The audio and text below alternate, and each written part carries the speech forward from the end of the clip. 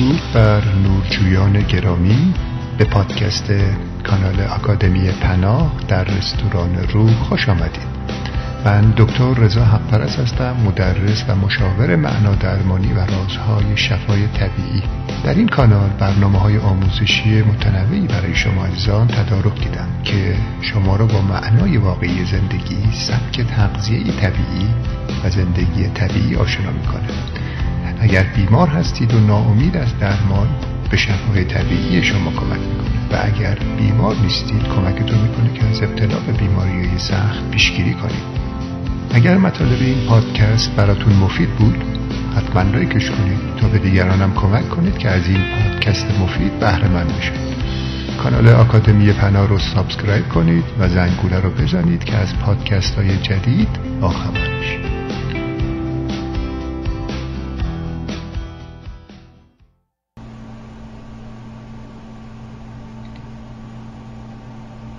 زندگی ما در این جا ممکن است کم اهمیت به نظر برسد. خیلی ها به افسردگی می‌رسن این هم شد زندگی.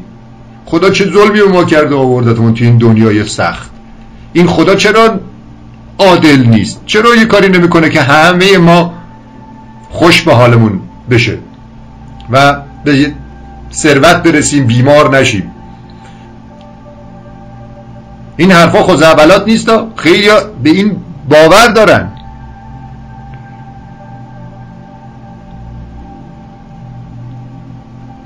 و زندگیشون رو بر این اساس برنامه ریزی کردن.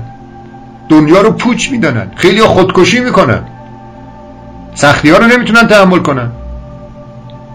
ناامیدن. و این افراد فرصت زندگی رو دارن هدر میدن. به این تکامل جمعی توسعه نمیدن. و بایستی مثل مدفوع از این تکامل دفع بشن. ما بایستی حواسمان باشه. بدانیم خدا برای چی ما رو آفریده. معنای زندگی چیه؟ این موضوع معنا درمانیه که من توی رستوران روح به اون می‌پردازم. عنوان دوره ما توی رستوران روح چیه؟ دوره خداموزی معنا درمانی و رازهای شفای طبیعی. شفای طبیعی هم یعنی شفای واقعی هم یعنی این که تو به آگاهی برسی. بیمارای سرطانی که به من زنگ می‌زنن و با من مشورت می‌کنن من این جمله رو بهشون میگم. درست تکراری اما بایستی بهشون بگم. بیماری شما سرطان نیست بیماری شما ناآگاهی شماست. برای اینکه از این چرخه تکامل دفع نشی خداوند لطف می‌کنه به درد و بیماری میده که خودت هم بیا این تکامل رو توسعه بدی و نقش داشته باشی توی این تکامل جمعی. خیلی, ما تو، خیلی از ما تو قرن 21 زندگی می‌کنیم اما رفتار قارنشینای صد هزار سال پیش رو داریم. مثل اونا ناآگاه فقط سوار هواپیما میشیم. زندگی ما در این جهان ممکن است کم اهمیت به نظر برسد زیرا در مقایسه با زندگی ها و دنیاهای دیگر که جهانهای مرئی و نامرئی را پر کردن فقط به اندازه یک دقیقه است. اما این دنیا از این نظر حائز اهمیت است که باید از اینجا به سوی ملکوت تعالی یابیم. تکامل ما به دقت زیر نظر موجودات دنیاهای بالا ارواح و گویهای تابناک است. توی این سفرش به گویهای تابناک اشاره می‌کنه که منبع انرژی کائنات هستند. و شاید همون لوح محفوظ باشه که تمام اطلاعات توی اون گویه.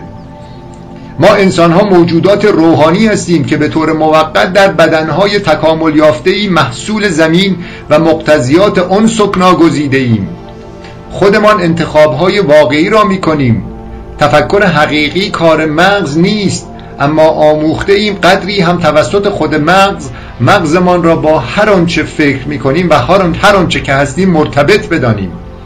به طوری که قابلیت خود را برای درک اینکه بیشتر و برتر از یک جسم و یک مغز فیزیکی از دست دادیم.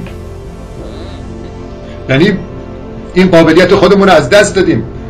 و نمی‌دونیم برتری ما چیه. فکر می‌کنیم که همین جسم و همین مغز فیزیکی هستیم و تمام اطلاعات تو مغز ما هست اینو یک پزشک متخصص مغز داره میگه.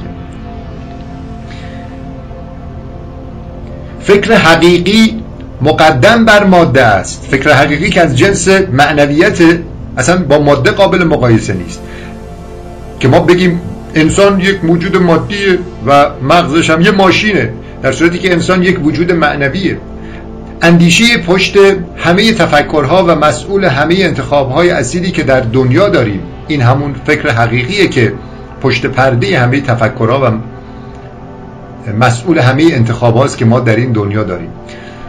نوعی تفکر که به استنباط خطی وابسته نیست بلکه با سرعت نور حرکت کرده و حتی مافوق نور. الان دانشمندای فیزیک کوانتوم طی آزمایشی که انجام دادن به این نتیجه رسیدن که سرعت های مافوق نور هم وجود داره در صورتی که انشتین به این اعتقاد نداشت. و در همون حد ماند علم انشتین اگر انشتین الان بود تئوریای جدیدی مطرح می‌کرد. و شاید هم در قالب یک جسم دیگه انشتین بازم تو این دنیا آمده و داره به این تکامل جمعی کمک می‌کنه.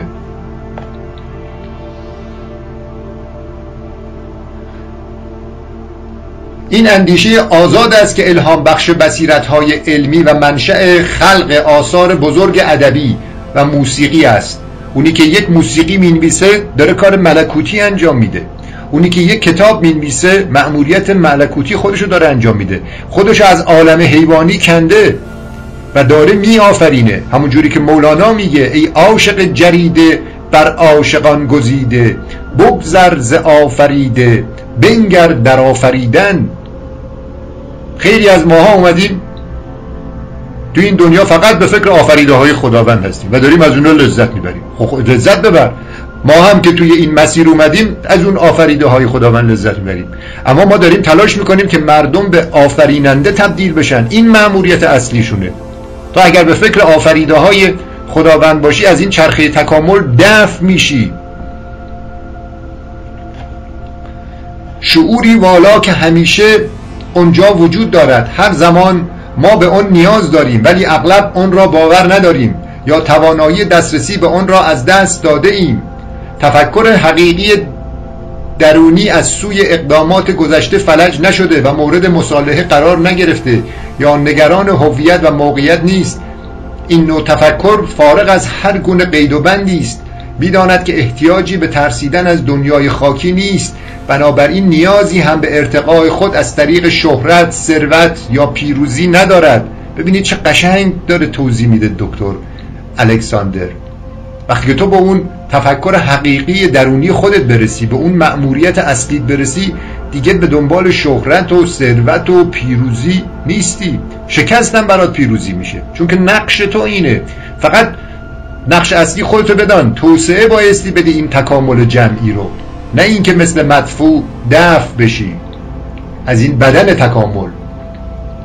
این همان خیشتن روحی واقعی است که در سرنوشت همه ماست و روزی باید آن را باز یابیم اما تا اون روز فرا برسد باید نهایت تلاش خود را انجام دهیم تا با این وجه معجزه آسای وجودمان تماس بگیریم. اون را پرورش دهیم و به منصه ظهور برسانیم. این جمله خیلی قشنگ و پرمعنا بود.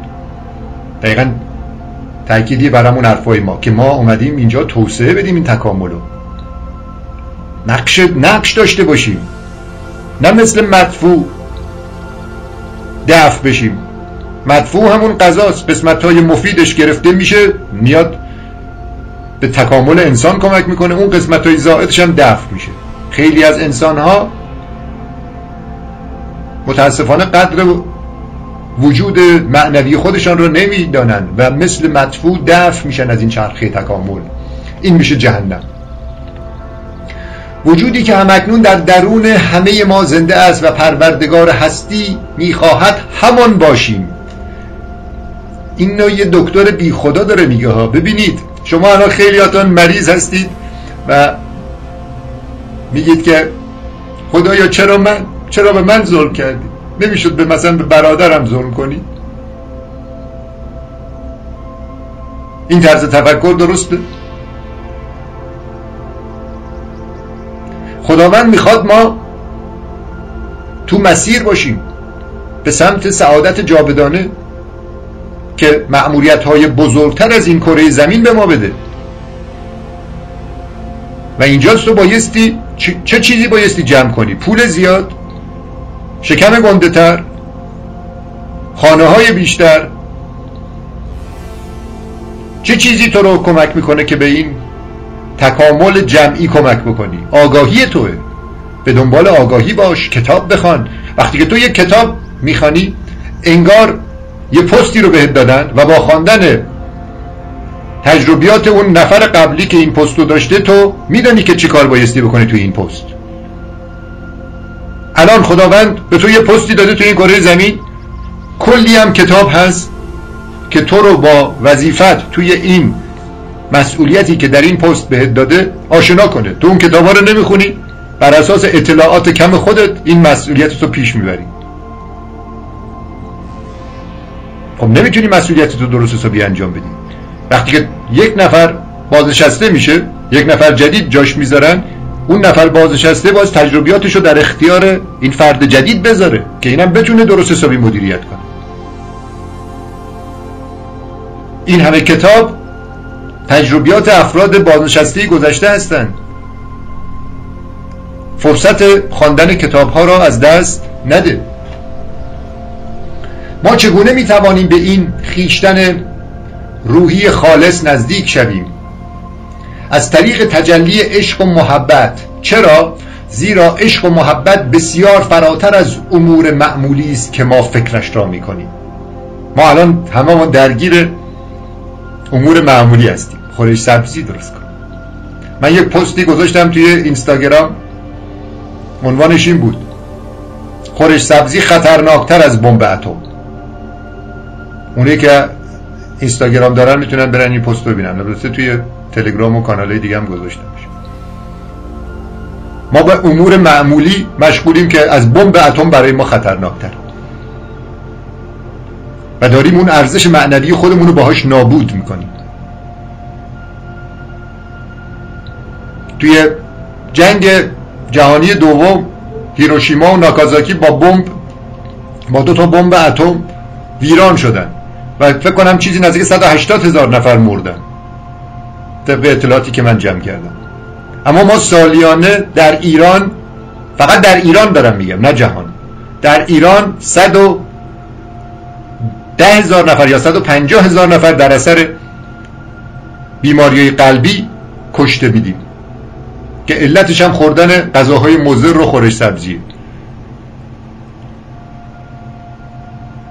56 هزار نفرم در اثر سرطان میمیرن. اینو با هم این دو تا عدد رو با هم جمع کنید و اینو تعمیمش بدید به جهان. اون موقع می‌فهمید که من چرا میگم که خورش سبزی و غذاهای مضر از بمب اتم خطرناکتره. ما بیش از حد به امور معمولی دنیا مثل حیوانات برم کار بکنم پول در بیارم برنج و نان و گوشت بخرم بخوریم.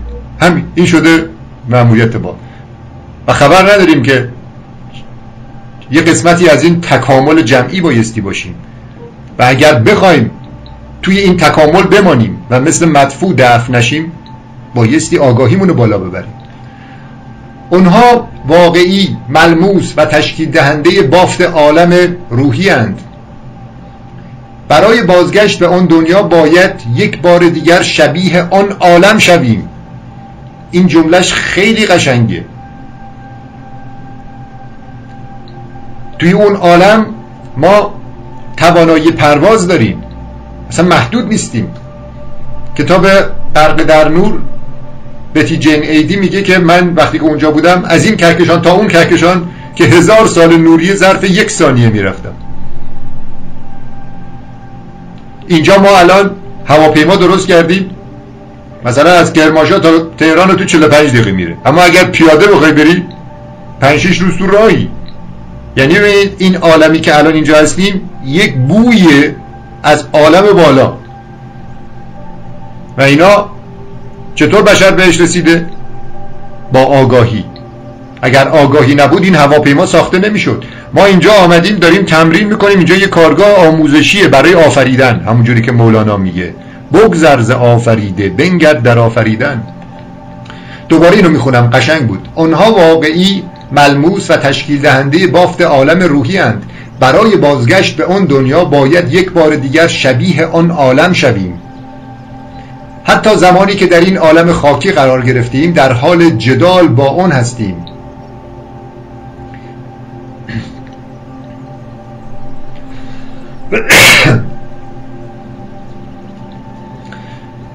دکتر الکساندر میگه وقتی که من مریض شدم پزشکانم هیچ پاسخی برای این پرسش نداشتن که من چگونه به این بیماری مبتلا شدم یا چگونه می‌توانستند مرا از حالت کما بیرون بیاورند.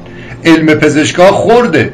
مولوی میگه خردکاری های علم هندسه یا نجوم و علم طب و فلسفه که تعلق با همین دنیاستش ره به هفتم آسمان برنیستش. این همه علم بنای آخر است که اماد بود گاو و اشتر است. بهر استبقای حیوان چند روز؟ نام آن کردند این گیجان رموز.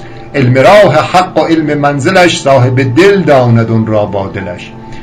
میگه پزشکای منم مانده بودن که این بیماری چجوری آمد و چطور منو از کما در بیارن؟ این برنامه خدا بود که با این درد و بیماری چشمشو باز کنه. در قرآن سوره سجده آیه 21 آمده من در این دنیا دردهای کوچک به شما می‌دهم که دچار درد بزرگ در آخرت نشوید. درد بزرگ در آخرت اینه که نقشی نداشته باشی در این کمال جمعی و مثل مدفوع دفع شده باشی.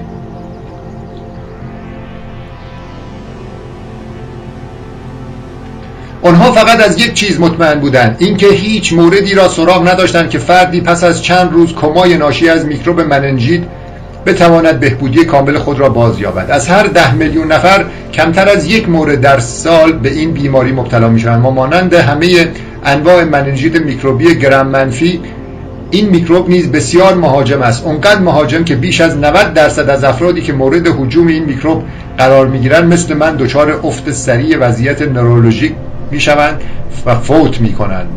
اگر پزشکان و تجهیزات پزشکی نبود دکتر الکساندر زنده نمیماند که این کتاب رو بنویسه. الان ما توی این موضوع خامگیاخاری خیلی از افراد داریم که به پزشکای عزیز توهین می‌کنن و میگن که اونا فقط به فکر پول هستند و نبایستی باشن. اصلا اینجوری نیست. خواهش می‌کنم این طرز تفکر رو نداشته باشید. پزشکا معمورهای خدا هستند که افرادی رو زنده نگه دارند تا به آگاهی برسن. شما سریع به اون آگاهی برس. چون بیماری اصلی تو اون بیماری نیست که اون پزشکا دارن درمان می‌کنن.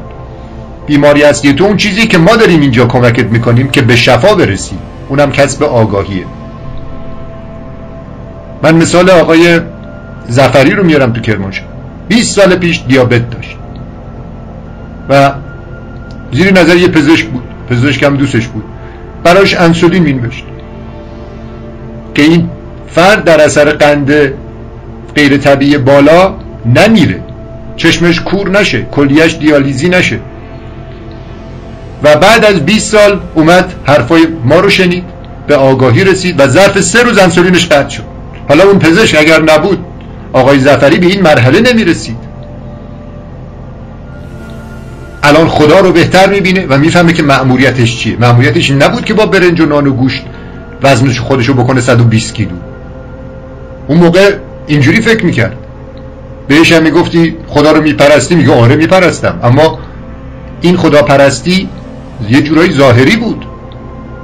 چون که نعمتهای الهی درون بدنش رو با غذاهای مزر تخریب کرده بود. اما الان به آگاهی رسیده دیگه غذای مزر نمی‌خوره. هیچ یک از ما انسان ها یتیم نیستیم. همه ما در همون موقعیتی هستیم که من زمانی بودم. ما همه خانواده ای داریم که نظارگر و مراقب ما هستند. اون افرادی که در عالم بالا هستند راهنمایی راهنمای روحی شما میگه که پدیده های همزمانی رو برای شما پیش میاره که چشمتان باز بشه.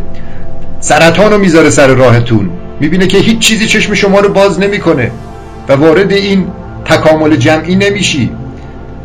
و قرار دفع بشی. خداوند کمکت می‌کنه. درد و بیماری بهت میده که این درد و بیماری باعث بشه که خودتو بشناسی. همه ما خانواده ای داریم که نظارگر و مراقب ما هستند.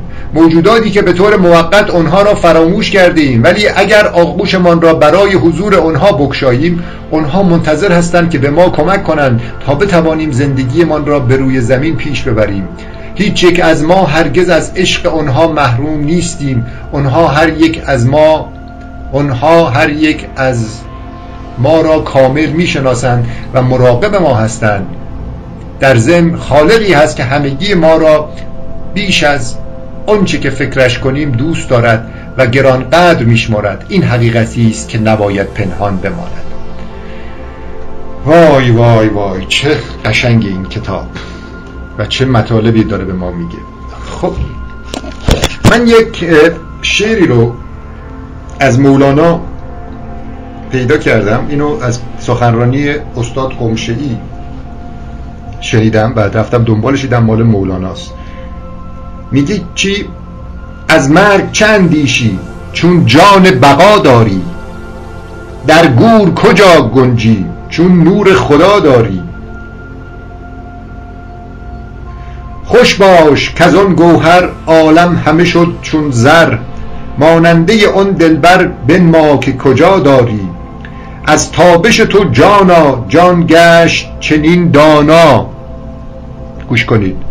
از تابش تو جانا جان گشت چنین دانا.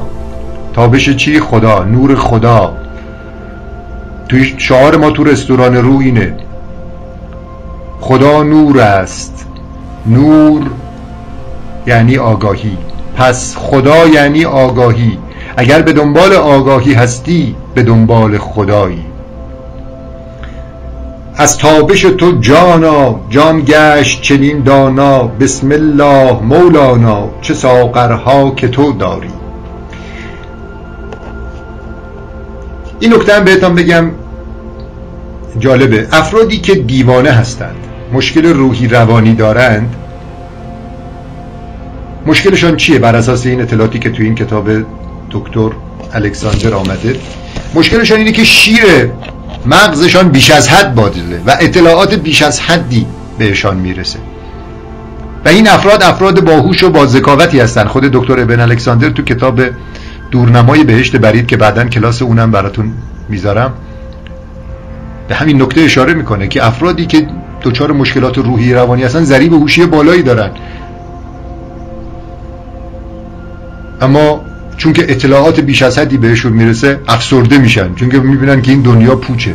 چون که اطلاعات بیش از حدی از عالم بالا بهشون می‌رسه. این نکته هم داشته باشید. این شعر مولانا رو که آخر سخنرانی ها می‌خونم و دوباره براتون می‌خونم که بفهمید که ما روح هستیم نه جسم. تو اومدی که توسعه بدین تکامل جمعی رو که خدا شروع کرده. آگاهی تو بالا ببر. به روحت قضا بده. ما هم تو رستوران روح در خدمتتون هستیم. کمکتون کنیم که به روحتان قضا بدید. مولانا میگه تن مپرور زان که قربانی است تن. روح بپرور روح به بالا می‌رود. چرب و شیرین کم دهین مردار را. زان که تن پرور رسوا می‌رود. چرب و شیرین ده ز حکمت روح را. تا قوی گردد که بالا می‌رود. هر که کاه و جو خورد قربان شود. هر که نور حق خورد قرآن شود. معده را خو کن بدان ریحان و گل تا بیابی حکمت قوت رسول چون خوری یک لقمه از معکول نور خاک ریزی بر سر نان تنور. قوت اصلی بشر نور خداست قوت حیوانی مرو را ناسزاست. چند خوردی چرب و شیرین از تعام چند روزی امتحان کن در سیام این دهان بستی دهانی باز شد تا خورنده لقمه های راز شد. گر تو این انبان زنان خالی کنی پرز گوهرهای اجلالی کنی. موفق باشید.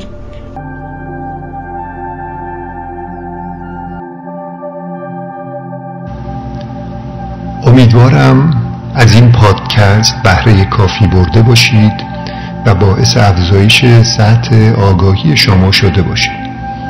کسب آگاهی مأموریت اصلی ما در این دنیاست. چون آگاهی ما ثروت اصلی ماست. و در عالم جاودانی بالا این ثروت آگاهی که با ما جاودانه میمونه. نه ثروت مادی که ما در این دنیای فانی جمع می‌کنیم. هدف ما در کانال آکادمی پناه در یوتیوب و دوره خودآموزی معنا درمانی و رازهای شفای طبیعی در سایت رستوران رو اینه که به این ثروت جاودانه آگاهی شما بیافزاییم. اگه این پادکست براتون مفید بود حتما like ش کنید و کانال آکادمی پناه رو subscribe کنید و زنگوله کنارشو بزنید تا پادکست های جدید آکادمی پناه رو از دست ندید. لینک این پادکست و این کانال رو برای کسانی که بیماری سخت و لاعلاج دارن و شما میشناسینشون بفرستید. و همچنین برای کسانی که بیمار نیستن و می‌خوان از ابتلا به بیماری های سخت پیشگیری کنن و نیاز به آگاهی شفا بخش دارن. برای اونها هم لینک این پادکست و کانال رو ارسال کنید. شما رو به خدا میسپارم.